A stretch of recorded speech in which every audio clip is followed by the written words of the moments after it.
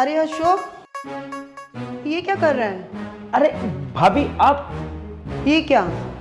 वो कुछ नहीं भाभी मैंने ना अभी झाड़ू लगाई थी तो सोचा थोड़ा सा पोछा रह रहा है ये कर दूँ इसके बाद में फिर वो बर्तन धोने हैं। गीत कहाँ गई? गीत तो भाभी वो रेस्ट कर रही है अभी सो रही है अभी उठी नहीं है ना। वो एक्चुअली मैं पहले बर्तन धोऊँगा उसके बाद में फिर गीत के लिए ना नाश्ता बनाऊँगा फिर गीत को उठाऊँगा। अच्छा हाँ भाभी वो ना एक्चुअली रात को थक गई थी लेट सोई थी ना तो इसलिए वो लेट तक सो रही है। वो क्या हुआ ना भाभी? हमारी जो काम वाली थी वो दो महीने पहले गीत ने हटा दिया उसको। क्यों काम वाली क्यों हटी? वो काम अच्छे से नहीं करती थी।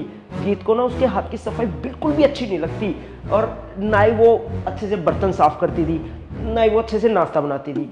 तो गीत ने उसको हटा दिया और मैं वैसे भी घर में भी खाली था तो गीत को ना मेरे हाथ की सफ़ाई की भी बहुत अच्छी लगती है क्योंकि मैं ना हर कोने में अच्छे से सफ़ाई करता हूँ और बर्तन भी एकदम चकाचक चमका देता हूँ। तो इसलिए गीत ना हमेशा मेरे को ही बोल देती है काम करने के लिए।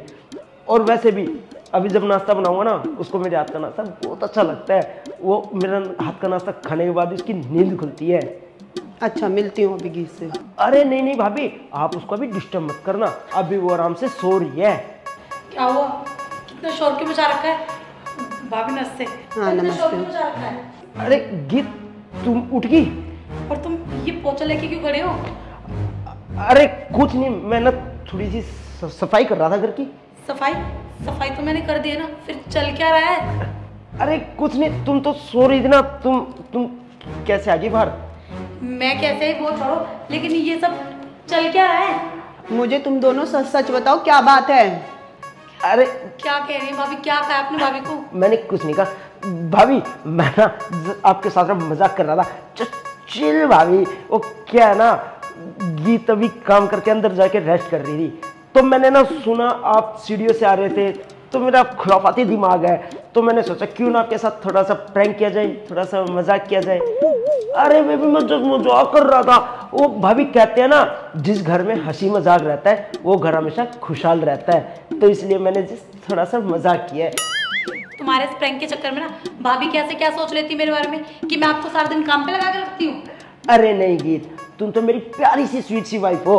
और भाभी हम ना मज़ाक कर रहे थे आप सीरियसली मत लेना। हाँ अशोक भाई मुझे तेरी ये बात बहुत अच्छी लगी। अब यहीं खड़े रहोगे या अंदर बैठ के बातें करोगे?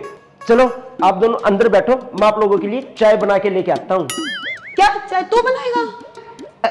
अरे भाभी मैं मज़ाक कर रहा हूँ। चाय तो मेरी प्यारी वाइफ गीत बनाएगी।